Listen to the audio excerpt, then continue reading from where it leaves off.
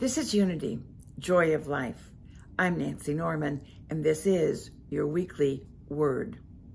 The following is from a Saturday, July 29th, 1933 daily word.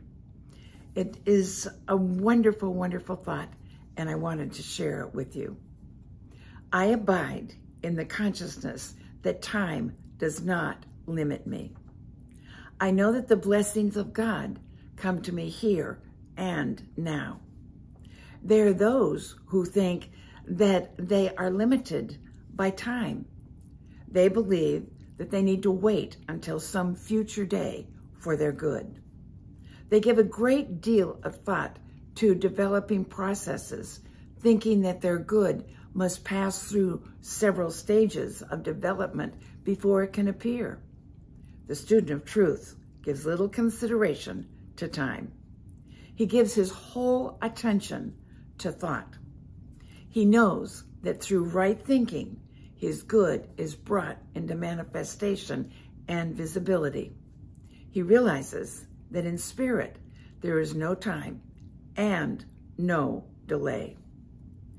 Do not always think of yourself as growing in grace, but give some thought to the truth that right now you are what you want to be. The student of truth must come to the realization that right now he is what? He has hope to become. He needs to affirm, God is and I am. Right now, I am that which I have sought to be.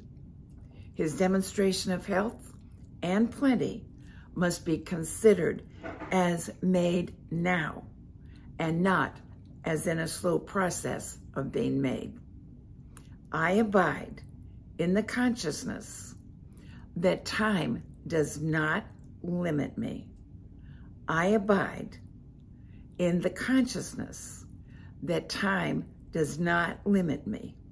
I know that the blessings of God come to me here and now. God bless you and have a wonderful week.